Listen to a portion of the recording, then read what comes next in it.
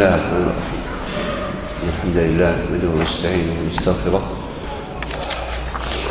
ونعوذ بالله من شرور أنفسنا وسيئات أعمالنا. من يهده الله فلا مضل له ومن يضلل فلا هادي له. وأشهد أن لا إله إلا الله وحده لا شريك له وأشهد أن محمدا عبده ورسوله. صلى الله عليه وعلى آله وصحبه وسلم تسليما كثيرا أما بعد فإن خير الكلام كلام الله تعالى. وخير الهدي هدي محمد صلى الله عليه وسلم. وشر الأمور محدثاتها وكل محدثة بدعة وكل بدعة ضلالة وكل ضلالة في النار. انتهينا عند قول المؤلف رحمه الله تعالى وينهى عن قيل وقال وكثرة السؤال. ها؟ وقلنا أن السؤال المقصود في نهي عنه هو على قسمين سؤال المال أو سؤال العلم. وذكرنا في سؤال المال الحكم والتفصيل فيه.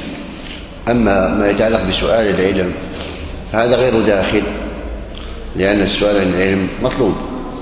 والله جل وعلا قد أمر به قوله تبارك وتعالى فاسألوا أهل الذكر إن كنتم لا تعلمون. فاسألوا أهل الذكر إن كنتم لا تعلمون. وإنما ينهى عن السؤال إذا كان آه قد جاوز فيه الحد وقد آه تمطع في ذلك. قد جاوز الحد قد تمطع في ذلك. أو سأل ما ينبغي ما لا ينبغي يسأل عنه. إذا سأل ما لا ينبغي أن يسأل عنه. أو إذا سأل عن أشياء لم تحدث. ولهذا كان صلى الله عليه وسلم يكره أن يسأل عن شيء لم يحدث ولم يقع. ويدل عليه قوله صلى الله عليه وسلم إن أعظم المسلمين جرما. من سأل عن شيء فحرم من أجل مسألته. من سأل عن شيء فحرم من أجل مسألته. هذا أعظم المسلمين جرما أن يسأل عن شيء ما نزل فيه حكم فمن أجل سؤاله نزل التحريم. ولهذا قال عز وجل يا أيها الذين آمنوا لا تسألوا عن أشياء إن تبدى لكم تسؤ وإن تسألوا عنها حين ينزل القرآن تبدى لكم عفى الله عنها والله غفور حليم. قد سألها قوم من قبلكم ثم أصبحوا بها كافرين. وبعد نزول هذه الآية بل وقبلها كان يتحرج الصحابة من سؤال النبي صلى الله عليه وسلم فلما نزلت صاروا لا يسألون ويحب الواحد فيهم أن يأتي الأعرابي من البادية فيسأل النبي صلى الله عليه وسلم فيستفيدون. بل وكانوا يرون ويحبون أن يأتي الرجل الرجل الذكي الفهم النبيه الرجل النبه فيسأل أشياء أشياء يستفيدون منها فيستفيد الصحابة ويتعلمون. أما أن يسأل عن أشياء قد سكت الله عنها لم يتكلم فيها أو لم يذكر فيها حكما ولأجل سؤاله حرمت. أو يسأل عن أشياء لا ينبغي أن تسأل أو يسأل عنها. ولهذا آه ظهر الغضب من النبي صلى الله عليه وسلم لما سأل الصحابة عن بعض الأشياء لا ينبغي أن يسألوا عنها. وكأنه سؤال يقصد من ورائه معرفة صدق النبي صلى الله عليه وسلم أو معرفة كونه يعلم أو لا يعلم. ولهذا غضب النبي صلى الله عليه وسلم وقال سلوا عما بدا لكم. ما من سؤال تسألونني إلا وقد أجبتكم. فقال الرجل من أبي يا رسول الله؟ قال أبوك أبو حذافة قال آخر كذا. فقال النبي صلى الله عليه وسلم كذا. وأجابه. فجثى عمر رضي الله تعالى عنه على ركبتيه. وقال آمنا بالله ربا وبالإسلام دينا وبمحمد صلى الله عليه وسلم نبيا أو رسولا أو كما قال رضي الله تعالى عنه. فهنا كان السؤال عن شيء لا ينبغي ولهذا فالسؤال العلم السؤال في العلم آه يكون سؤال متعلم أو سؤال مستفهم أو سؤال معلم. ولا يكون سؤال معجز أو سؤال مستغلق أو سؤال آه لا وقوع له لا وقوع له. هذا الذي ينهى عنه. أو سؤال عما لم يرد فيه شيء فهو داخل في حكم العفو داخل في حكم العفو. ولهذا لما قال الرجل يا رسول الله الرجل يجد الرجل مع زوجته ماذا يفعل؟ إن تكلم تكلم بأمر عظيم وجلدتموه يعني حد القذف. وإن سكت سكت عن أمر عظيم فلم يجيبه صلى الله عليه وسلم. وكأنه كره مسألته. لكن الرجل آه، كأنه سأل عن شيء قد وقع. ولهذا بعد ذلك دعاه النبي صلى الله عليه وسلم وقال قد أنزل الله. فذكر أنه صاحب القضية وذكر له النبي صلى الله عليه وسلم آية آه، اللعان. وذكر له النبي عليه الصلاة والسلام آية اللعان. ولأجل هذا كان الصحابة يحتاطون في السؤال ويتحرزون ويتحرون ولهذا قال ابن عباس ما سأل الصحابة رضي الله تعالى عنهم النبي صلى الله عليه وسلم إلا بضعة عشرة سؤالا. نحو ثلاثة, عشر سؤالا. ويسألونك يسألونك عن الخمر ويسألونك عن المحيض يسألونك عن الشيء الحرام قتال فيه يستفتونك يسألونك عن الأنفال يسألونك عن اليتامى ونحو هذا. قريبا من ثلاثة عشرة من ثلاثة عشر سؤالا. فهذا هو الذي يتعلق بالنهي عن السؤال. والأقرب في الحديث هو كون السؤال المقصود به في المال. النهي عن السؤال في ماذا؟ في المال. ويدخل السؤال عن العلم إذا كان قد جاوز فيه الحديث. لهذا لا ينبغي السؤال عن الأغلوطات وهي المسائل الشديدة الصعبة. قد ورد في الحديث أنه صلى الله عليه وسلم نهى عن الأغلوطات. قالوا وهي المسائل الصعبة التي فيها تشدد وعسر أو لم تقع. لا والحديث ضعيف لا يثبت. الحديث ضعيف آه، لا يثبت. لكن آه، أهل العلم متفقون على هذا وعلى أن السؤال عن أشياء غير واقعة أو لم تقع أو فيها تشدد وعسر وصعوبة هذا لا ينبغي أن أما سؤال طالب العلم أو آه، ورود الأسئلة على طلبة العلم من حيث شحذ الهمة وتقوية المدارك ومعرفة كيفية الوصول إلى الحكم من هذا الباب لا بأس به. من هذا الباب لا بأس به. فقال وكان ينهى عن قيل وقال وكثرة السؤال وإضاعة المال أخذناه. نعم. وكثرة السؤال وضع وكان ينهى عن عقوق الأمهات. النبي صلى الله عليه وسلم كان ينهى عن عقوق الأمهات جمع الأم. وقال بعض العلماء أن الأمهات هو جمع لمن يعلم ويعقل. فإن كان غير غير عاقل غير أن لا يعلم يقال أمات فلا نقول في أمهات الكتب أو في أمهات المدن. نقول أمات الكتب وأمات المدن. أما جمع امرأة ممن يعني هي أم نقول أمهات أمهات نعم. فينهى عن العقوق والعقوق المخالفة. عق بمعنى خالف. فلا يجوز أن يعق أمه أو أباه. والطاعة للأب والأم لها ثلاثة أرباع من البر. فإن بر بأبيه قسطا فلأمه من البر هذا ثلاثة أرباع ثلاثة أضعاف الأب. لقوله صلى الله عليه وسلم كما جاء في الصحيحين لما سئل من أحق الناس ببر أو قال بحسن صحبتي؟ فقال صلى الله عليه وسلم أمك. قيل ثم من قال أمك؟ قيل ثم من قال أمك. قيل ثم من قال أبوك؟ في بعض الروايات ذكر الرابعة والأكثر أنه ذكر ثلاث مرات. وقد ورد في القرآن الكريم ما يوافق هذا المعنى. فالله عز وجل ذكر من حقوق الأم في القرآن ثلاثة. مما تائبت فيه.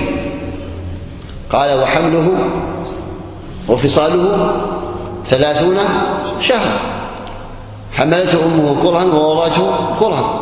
فإذا حمل وفصال و وإرضاع وإرضاع فهذه ثلاث حقوق تزيد على الأب. فالأم هي التي تعاني من ألم وتعب الحمل. وهي التي تعاني من ألم وتعب الفصال والولادة وأيضا الرضاعة فهذه الثلاثة ليست للأب. ولهذا قال صلى الله عليه وسلم كأنه من ماذا؟ من أخذ المعنى من القرآن. قال أمك ثم أمك ثم أمك. فهي حقوق ثلاثة للأم أو آه، أشياء ثلاثة اختصت بها الأم لا توجد بها. ولهذا كان صلى الله عليه وسلم ينهى عن حقوق الأمهات. فلا يجوز أن يعق أن يعق أمه وأن يخالفها.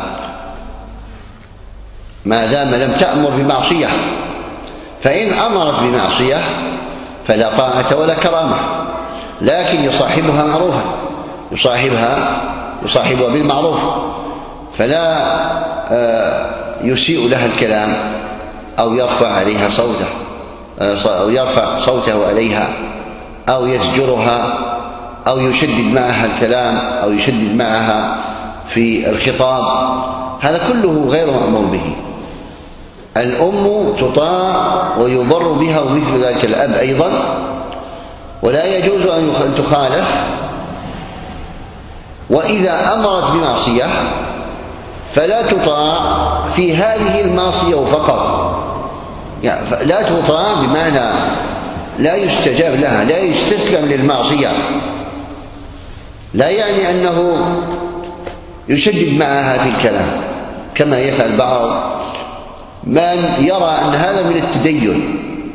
يعني لو ماتته أمه من صلاة عن صلاة العشاء لو ماتته أمه عن حضور دروس علم أو تمنعه عن القيام بشيء من الواجبات الشرعية يعني لا يستجيب لها في هذا الأمر فقط. لكن يلاطفها في الكلام ويتكلم معه بأدب ويخفض صوته يخفض جناحه يبر بها يحترمها يقدرها إلى غير ذلك من هذه الأمور. أما أن آه، يشدد ويقول أمرتني بمعصية لا تعصي. نهتني عن طاعة لا لا تنتهي عنها. لكن هذا لا دخل له مع تغليظ الكلام وتغليظ العبارة وسوء الأدب. وعدم الاحترام. بل منهم من يهجر. أمة. من أجل أنها قالت له افعل أو لا تفعل. ويزعم أن هذا من الدين. هذا سوء فهم. النبي صلى الله عليه وسلم كما جاء في الحديث أن أسماء قالت يا رسول الله إن أمي أتتني وهي مشركة. إن أمي أتتني وهي مشركة. أفأصلها؟ فأرسل إليها النبي صلى الله عليه وسلم. نعم صلي أمك. نعم صلي أمك. وأبو هريرة كانت أمه كافرة فقالت لا آكل ولا أنعم بشراب أو طعام حتى تكفر بدين محمد فبكى لأجل ذلك لكن لم يسيء إليها ولم يقل لها شيئا بل جاء إلى النبي صلى الله عليه وسلم يشكو حاله فدعا له النبي صلى الله عليه وسلم فما إن رجع حتى وجدها قد أسلمت. ومثل ذلك أيضا وقع لعبد الله بن عمر بن العاص وغيره آه، فالحاصل والمقصود أنه لا يجوز أن يعق أمه وأن يسيء مع الأدب. والمقصود في العقوق مخالفة أمرها أو نهيها أو عدم الإحسان إليها أو أذيتها أو فعل ما تتأذى منه أو فعل ما يسيء إليها أو نحو ذلك. فهذا مما ينبغي أن يجتنب بل ولا يجوز بل ولا يجوز. لهذا قال الحسن البصري إن منعته أمه من حضور العشاء شفقة عليه فلا يطيعها كما ذكر البخاري الأثر في صحيحه معلقا. لكن لا يعني أنه يسيء إليها الأدب أو الكلام أو المخاطبة أو نحو ذلك. وهذا كله يشمل قوله تعالى يشمله قوله تعالى آه، آه، فلا تقل لهما أف ولا تنهرهما وعقوق الأمهات أو الوالدين يعتبر من الكبائر كما جاء في الحديث الصحيح. وذكر الأم لا يقصد لا يعني الاقتصار عليها بل يدخل في ذلك ويلتحق به الأب كذلك. لكن التخصيص للأم لأن الغالب أنه يقع العقوق للأمهات. أكثر ما يقع العقوق للأمهات. أكثر ما يقع للأمهات. لذا خص بالذكر. وأيضا هن أكثر حقا أو أوفر برا من الأب في الأصل. ولهذا شدد في الإنكار على عقوقهم فهي أولى بالبر. لها ثلاث أضعاف من البر بخلاف الأب. قال ووأد البنات نهى عن وأد. الوأد هو الدفن حيا وهذا كان في الجاهلية كان في الجاهلية وله في ذلك طريقتين. الوأد كان له طريقتين. يعني إذا جاءت الأم لتلد حفرت حفرة ثم وضعت.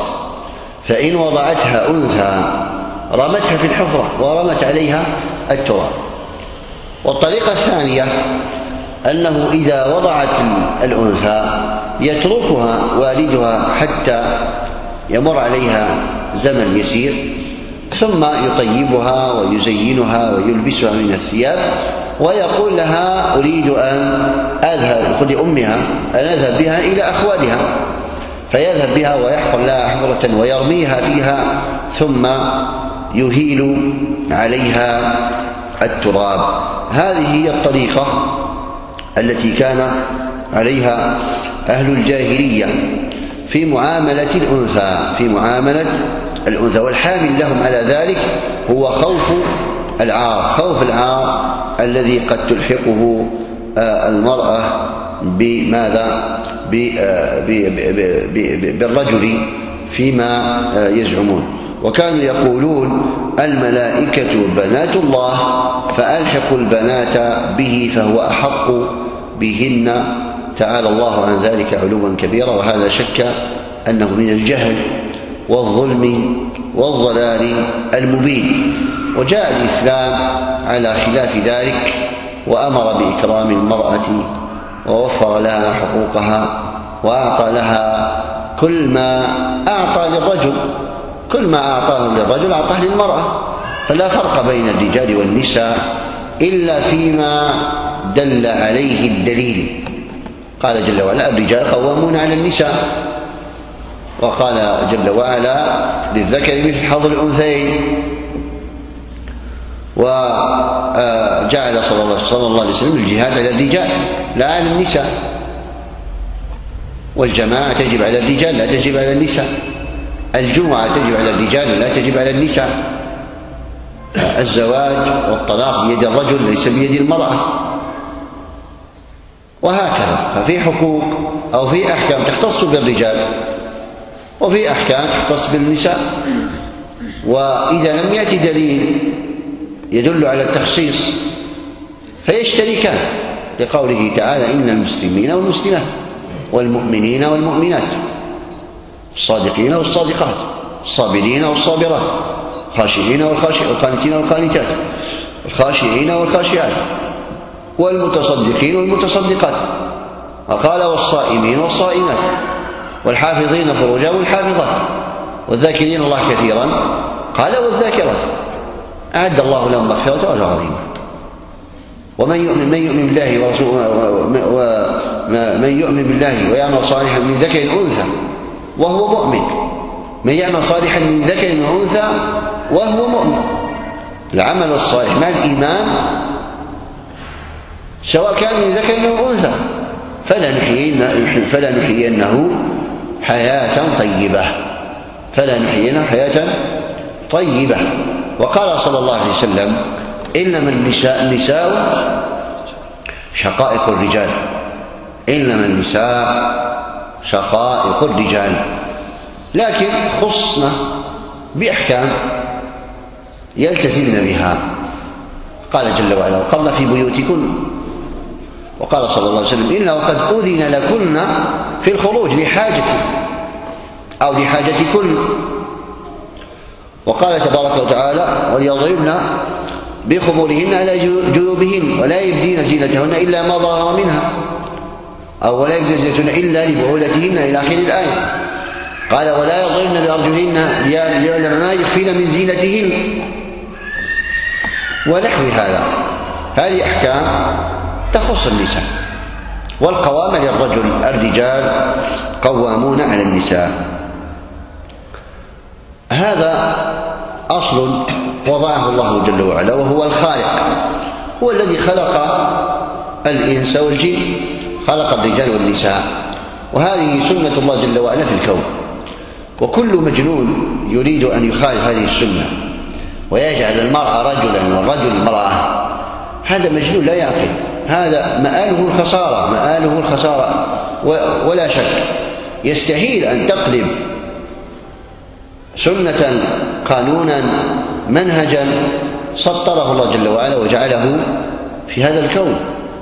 هذا يستحيل يعني. الله جل وعلا وضع الإنسان يمشي على رجليه. يستحيل أنك تجعله أنت يمشي على على رأسه. هذا القادر عليه هو الله. القادر عليه من؟ هو الله تبارك وتعالى. هو الله عز وجل. فجعل تبارك وتعالى قواما للرجال. على النساء. وجعل حقوقا للرجال. ليست للنساء.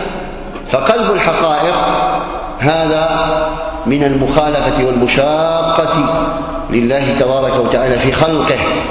ومآل مثل هذا الخسارة.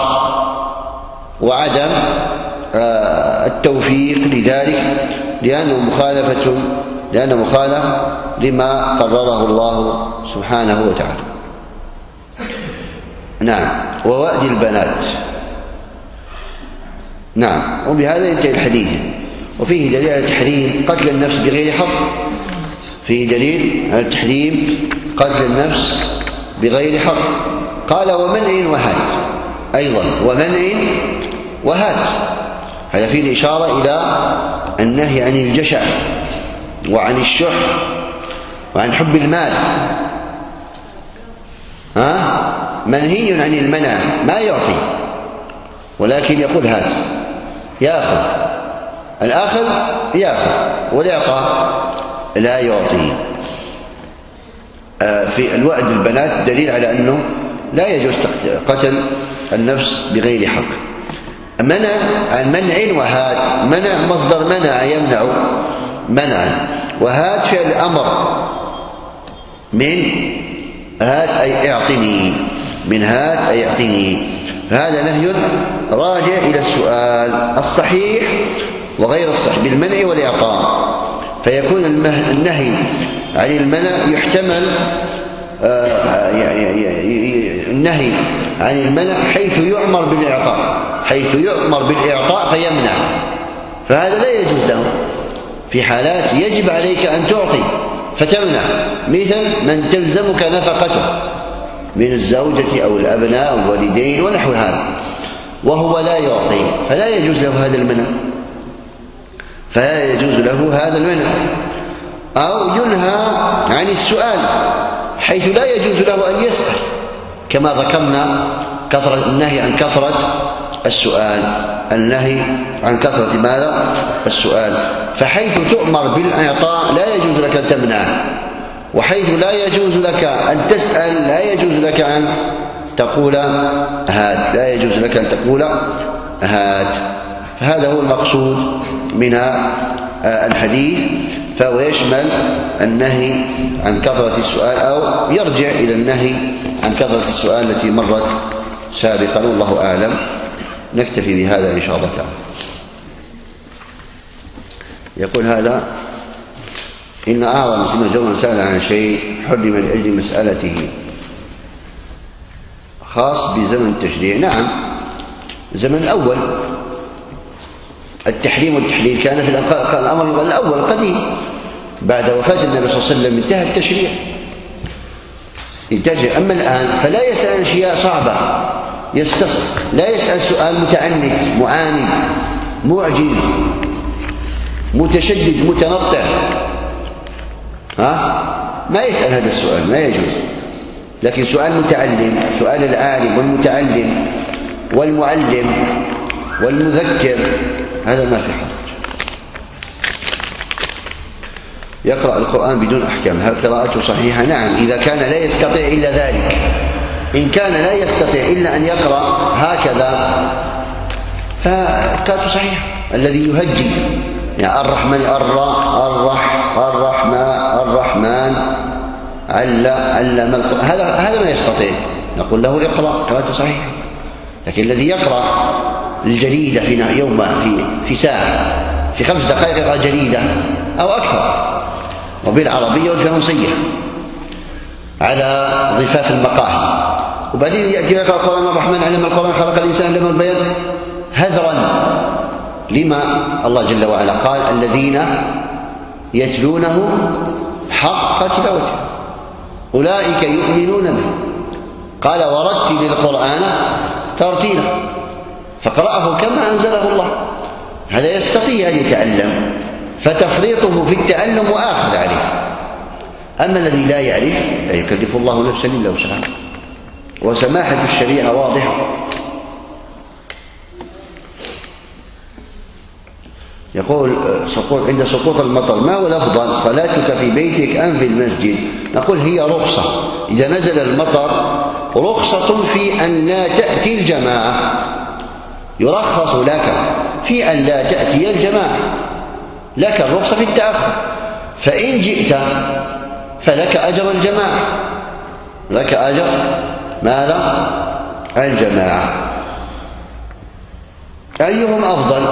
هنا مثل هذا السؤال قد يدخل في ذاك السؤال قد يدخل لكن نقول جوابا آه.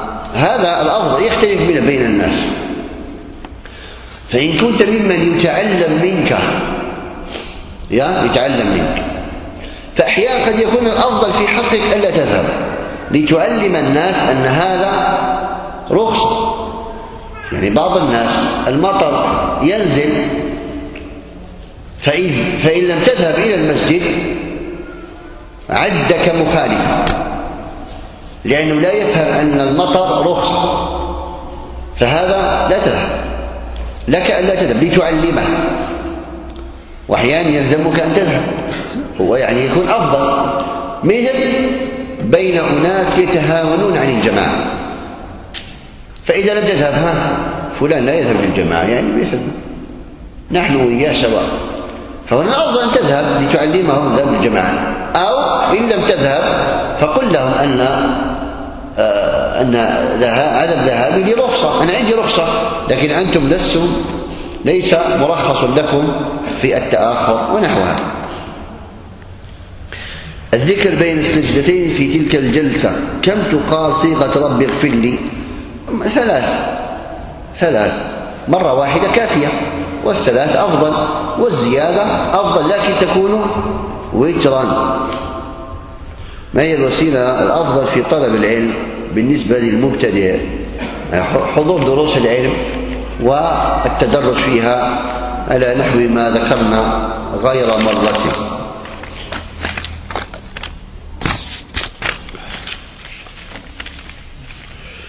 هل يجوز قراءة القرآن جماعة للضبط؟ نعم. يقرأ القرآن جماعة للتعلم لمن لا يعرف القراءة. يعني لنجمعهم ونقول لهم قول الحمد لله رب العالمين قول الحمد لله رب وكان ما تقول لوش ما يعرف. لا يعرف أن يقرأ. لا يعرف أن يقرأ. هذا لا بأس. أما الذي يحسن القراءة يقرأ لوحده. إلا إذا كانت قراءته فيها أخطاء كثيرة. وعند الجماعة تحفظهم. عندك جماعة تحفظهم. ويكسروا القراءة. كما أخي يوسف ما الجماعة يعني مثلا الناس كبار في السن. تقريه اليوم تقريه الحمد لله رب العالمين هو غدوة يقرأ لك الحمد لله رب العالمين. وإياك نعبد وإياك نستعين. غدوة يقول إياك نعبد وإياك تقول غدوة يقول لك إياك نعبد. يعني يكسر فلا بأس ما في إشكال لكن الذي يحسن القراءة ويعرف يقرأ يحفظ الحال. يصح له الخطأ ويحفظ الحال بالتكرار. هل إذا أمرتك أمك بترك مستحب أو فعل مكروه يجب طاعتها في ذلك أم كيف؟ ترك المستحب مع طاعة الأم وجوبا. طاعة الأم واجبة. طاعة الأم واجبة؟ والمستحب مستحب. سئل الإمام مالك عن الرجل تمنعه أمه سؤال نسيته. هل يجب طاعة أمر الأم إذا أمرت بأمر فيه ترك مستحب عن طاعة الوالدين أو الأم والأب في الحج. قالت لا تحج. ماذا قال الإمام مالك؟ قال يستعطفها سنة أو سنتين. ثم يحج. يعني يحاول معها الحج الأول يفوته. الحج الثاني يفوته.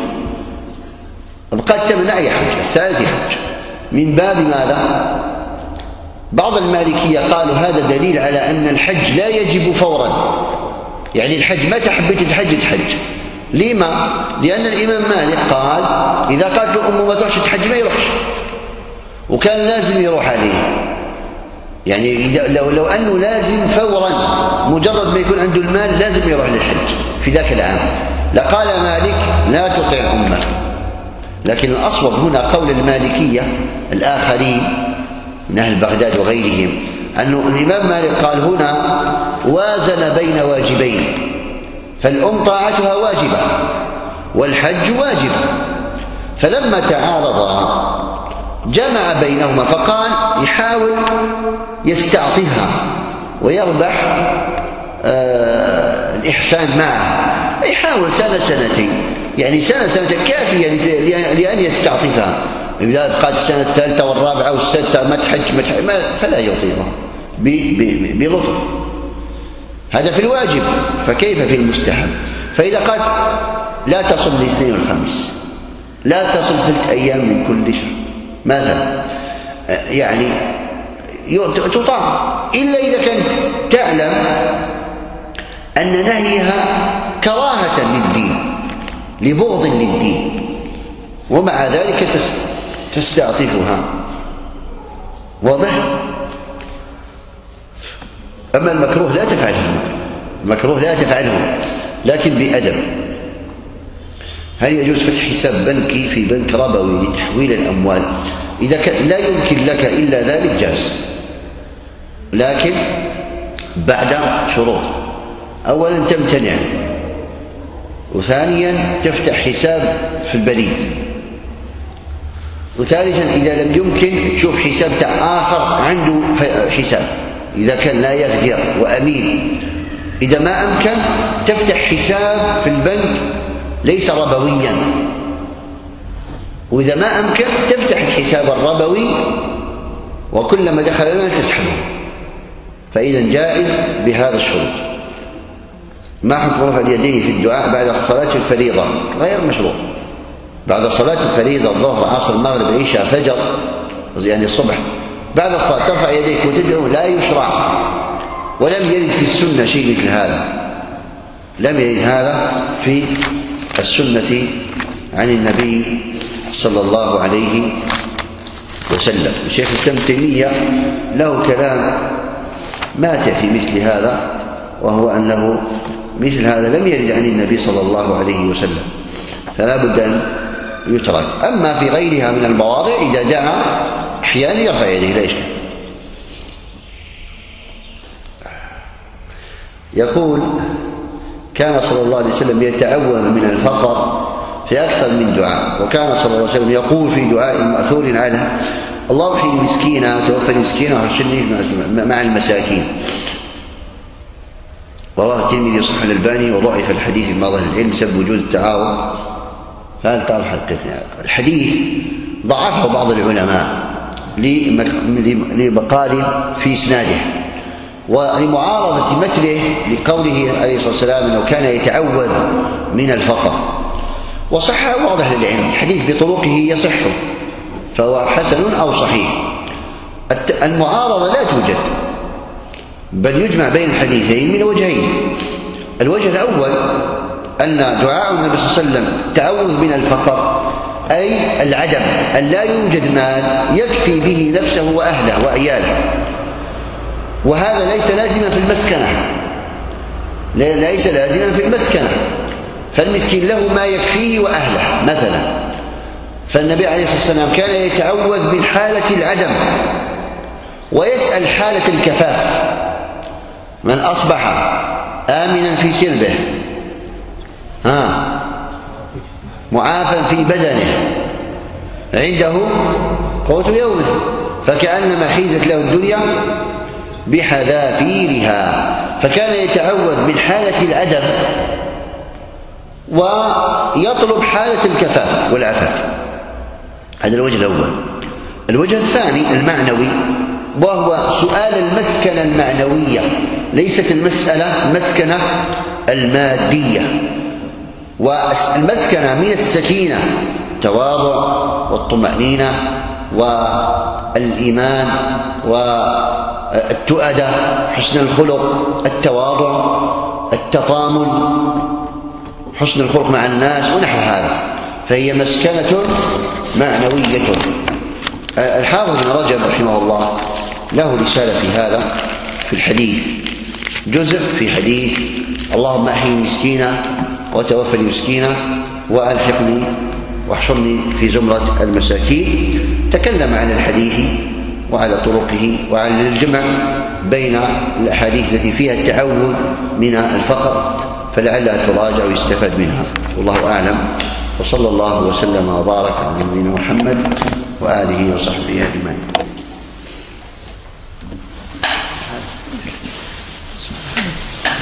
السلام